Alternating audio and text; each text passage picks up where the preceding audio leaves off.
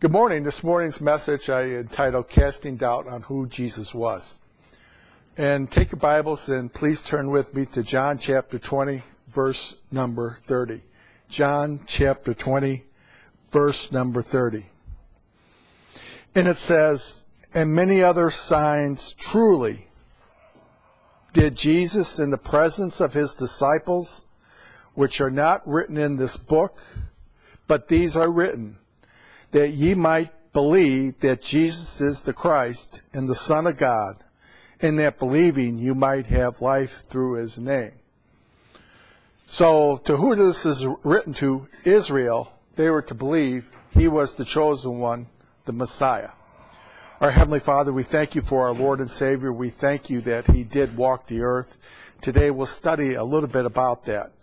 And we know that today, believing that you are the Christ does not save. Believing that you died for our sins does. Let us know the distinction. In the Lord's name we pray. Amen. So if you lived in the time of Matthew, Mark, Luke, and John, you're looking back to 1 Kings chapter 10, verse 23. Just let me read you. It is David had a son. His name was Solomon. So King Solomon exceeded all the kings of the earth for riches and for wisdom, and all the earth, how much of the earth it says? All the earth sought to Solomon to hear his wisdom, which God has put in his heart. So when you were growing up as a Jew, living under God's covenant, you were looking forward to returning to that seat of power on the earth, where all the kings of the earth would come and hear your wisdom. And they're looking for the Christ, the Redeemer, that's going to return them to their status. I find it fascinating. How do you know about heaven? Paul. How do you know about what was the Israel's hope? It wasn't heaven. It was being resurrected and walking in to that kingdom on the earth. Daniel 2:44 says the goal of prophecy is to establish a kingdom on the earth. Isaiah 9 7 said it's going to be David's throne and there will be no end. In Ephesians, it talk ages upon ages upon ages. It will grow. Our earthly kingdom, and we're, we're part of the heavenly kingdom.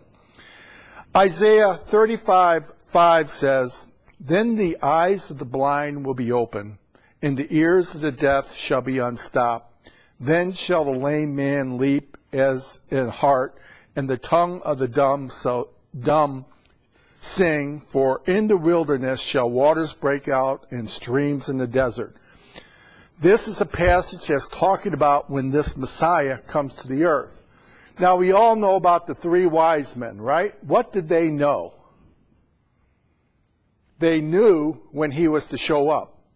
What did King Herod, when all, all this ruckus was about this little baby, he sought the scribes and the Pharisees of Israel, wondering what is going on.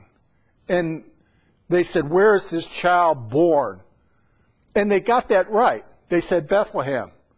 So when he was to show up, when he was to show up, is no secret.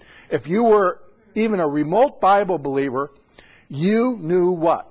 When he was to show up. Now then, we also, I read to you Isaiah 35, 5 and 6. When he shows up, what does it say? The blind shall be, their eyes shall be open. The deaf will be able to hear. The lame will be able to walk. The earth will be healed when he shows up. So isn't it funny when Jesus Christ walks the earth, just like we read in John, what happens? He healed the sick, right? And why? They were to believe he was the Messiah. He had how many disciples? Twelve. And he told them in Matthew chapter 11, now uh, he, he told them, um, in Mark chapter 3, and he ordained 12 that they should be with him, and that he might send them forth to preach and have the power to heal sickness. So you have Jesus Christ healing the sick, I believe there's about five verses that whoever he brought to them, he healed them all. All. No exceptions. But uh, uh, the disciples also had that power. He ordained the twelve that they should be with him, that they might send forth to preach and have power to heal sickness and to cast out devils. Same thing it says in Matthew chapter 5, verses 5 through 8, and it has one little thing. He says, don't go to the Gentiles. Gentiles aren't looking for a Messiah to return them to power on the earth, sitting on David's throne. So they knew the time, and now what's happening? There are miracles abounding. And according to John, these things are written that ye might believe that Jesus is the Christ. So, we have prophecies. There are three verses that said you must look at the prophecies, and I like the one where we choose here in Matthew chapter 11. It says, Now when John heard, was in prison and he heard of the works of Christ, he sent two of his disciples and said unto him, Art thou he that should come, or do we look for another? And I remember, like a decade ago, I was so mad at the scriptures. I said, why doesn't he just say yes? It drove me nuts. It absolutely said, just say yes. I was in some battle on some message person that says, well, Jesus never claimed he was the Christ. Well, if I had a little more study and a little more knowledge, I would have understood why the Lord said, Jesus answered and said unto him, Go and show John again those things which ye do hear and see. The blind receive their sight, and the lame will walk, and the, leap, the lepers are cleansed, and the deaf hear, and the dead are raised up, and the poor have the gospel preached to them. So what's saying to John? You know the scriptures. Are these things being fulfilled or not? And what would you answer? Yes, he is the Christ. So, who, who are we missing from this equation? If you were Satan, you know the time too, and you want to prevent that from happening, what would you do? How, how much leaven does it take to leaven the whole lump? Just a little bit. And we're going to read about a little bit of leaven here. I want you to take your Bibles and turn with me to Mark. Mark chapter 9. Mark chapter 9. So, in your Bible, there is demonic activity, familiar spirits. And if you could graph where they occur, just a little bit in the Old Testament, we talked a few weeks ago about Saul raising one up, someone with familiar spirit a whole lot of them in Matthew, Mark, Luke, and John, and just a few in the book of Acts. In fact, we don't read about any after Acts chapter 16 about anyone like that. So you kind of think, wish uh, Bob was here. When do you attack your enemy? When he is weakness or when he is sleeping when he's not ready. So this, uh, the, the wise men, the Gentiles of the world, knew when Christ was showing up. Even the king asked, when does the king show up? Where was he born? And they have that right. They should have known that this was him. How did they identify him? By the signs and wonders. It says that in Psalm 40, verse 7 Lo, I come, and the volume of this book is written of me. Revelations 19:10 says the testimony of Jesus is the spirit of prophecy.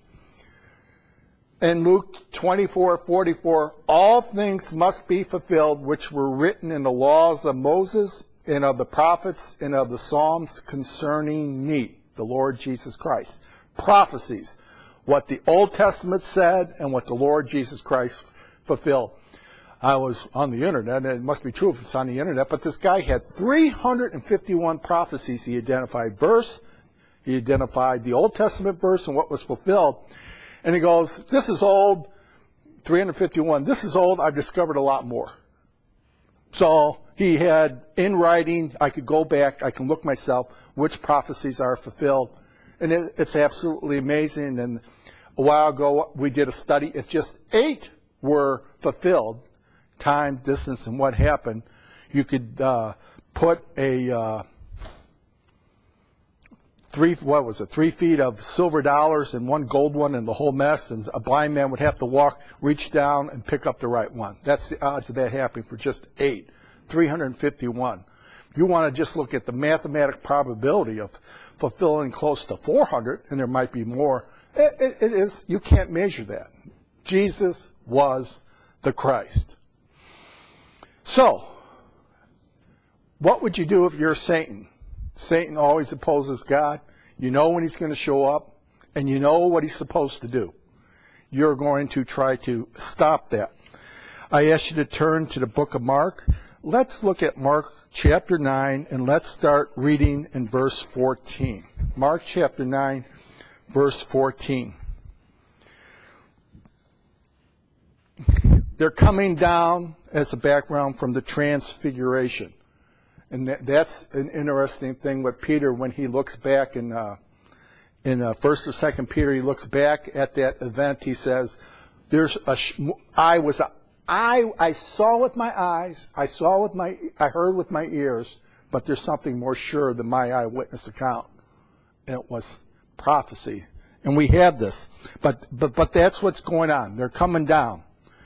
They're coming down from the transfiguration. And it says in verse 4, and he took Peter, James, and John with him. So there's four. The rest of the disciples are down here with the multitude. Mark chapter 9, verse 14. And when he came to his disciples, he saw a great multitude about them, and the scribes questioning with them. And straightway all the people, when they beheld him, were greatly amazed, and running to him and saluted him. And he asked the scribes, What questions ye with them? And one of the multitude answered and said, Master, I have brought unto thee my son, which has a dumb spirit. So what, so what is going on? He can't what? Talk. And whosoever he taketh him, he teareth him, and he foameth, and he gnasheth with his teeth, and pinneth away. And I spake to thy disciples, and they should cast him out, and they could not. Huh? We just read that they're given power to heal they wa- and to cast out devils. They come to this particular child boy, they can't do it. They cannot do it. We'll, we'll read about that. Why cannot they do it?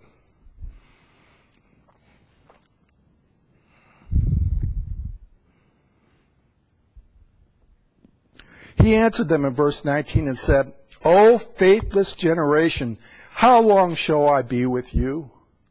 How long shall I suffer you? Bring him to me. So what do we have? The Lord Jesus Christ, a little frustrated with the multitude. They're not getting with the program. They're there to what? Get fed or get healed. Not understanding who he is. And they brought him unto him, and when he saw them straightway, the spirit, the spirit tear him, and he fell on the ground and, wall, and wallowed, foaming. Sound, sounds sort of like an epileptic fit, if you ever witnessed one of those. And he asked his father, how long, he asked his father, so the Lord is asking the boy's father, how long is it ago since this came unto him? And he said, Of a child. And oftentimes it casted him into the fire and into the waters to destroy him. But if thou canst do anything, have compassion on us and help us. So, what do, what do we know here? The disciples could not cast out that demon. A little leaven leavened the whole uh, lump. If you're Satan and your message is like we read in Isaiah, that he could heal the sick, he could cast out demons, what, what's going to happen to your faith in him? Is 99.9% good enough, or does the Messiah have to be 100%? What's Satan plan? If it was me and I wanted to stop him, what would I do? I'd make sure he couldn't heal everyone. I'd make sure he would try to cast as much doubt as he could into the people. And for whatever reason, whatever spirit went into that child or boy, the disciples couldn't cast him out.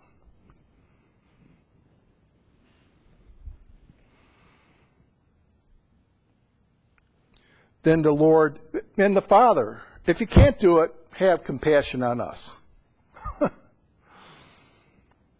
Jesus said unto him, If thou canst believe, all things are possible to him that believeth. And straightway the father of the child cried out and said with tears, Lord, I believe. And then this, this next four words are very interesting. I believe, help thou mine unbelief. And that is just like us.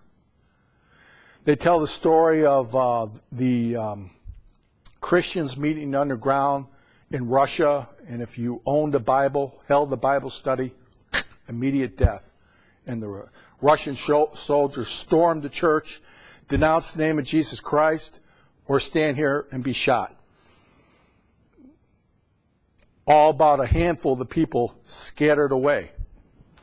When I first got saved, if someone was coming out with a gun and gave me the opportunity to hit the door, where would I have been? Get me out of here, right? Now, as you stand, you know, the faith that saves you, a little tiny faith, right? Just a little bit of faith. But when you read Ephesians chapter 6 and you look at all those things that the believer is to put on against the wiles of the devil, it's, it's a process where your faith gets stronger and stronger and stronger and stronger. And it's just like this. Um, if thou, if thou, thou canst believe, all things are possible to him that believeth. Well, what about the disciples? They couldn't cast him out. But isn't it funny when he said he was going to be, he was going to be handed over to the Romans and be crucified and die and rise again the third day? How did the disciples take that news? How, what did Peter do? He essentially said, I'm paraphrasing, over my dead body that's going to happen to you. Right? They didn't understand all things. They didn't understand all things.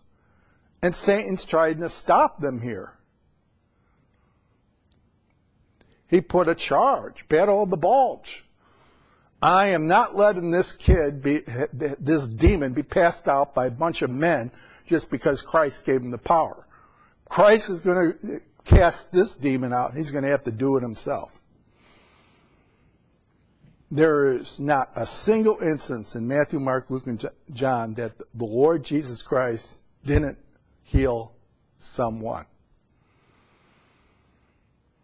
When Jesus saw that people, uh, the people coming, running together, he rebuked the foul spirits, saying unto them, Thou dumb and deaf spirit, I charge thee, come out of him and enter no more into him. And the Spirit cried and rent him sore and came out of him, and he was as one dead. Inasmuch that many said, He is dead. Can't have that happen. But Jesus took him by the hand and lifted him up, and he arose. And when he had come into the house, and when he was coming to the house, his disciples asked him, How? Privately, why could we not cast them out? And that's a good logical question. You said we could, but we couldn't. And he said unto them, This kind uh, can come forth by nothing but prayer and fasting. And when I was in the arena of trying to get a daughter healed, and I went to that faith healer, and nothing worked, and I listened to him on TV, and he said the uh, exact same thing. Now you have to pray and fast. Didn't work. And the blame was on me. I think faith healers are one of the most evil people that walk the earth today. It's not going on today. Why is it, why are these people possessed by demons? Satan has a bigger plan than you and your sick kid. He was there to prevent the people from believing in the Messiah. Did eventually the people believe in the Messiah? No. They handed them over to Romans to be crucified. No one stood with them. Satan thought he had them, says in uh, 2 Corinthians chapter 2. Had he known it, it says in 2 Corinthians chapter 2, he would not have crucified him. And guess what? What would happen if he wasn't crucified? Well, he, he had no sin in him. He would have lived forever. He could have paid for the sins. It's amazing stuff how accurate this scripture appears.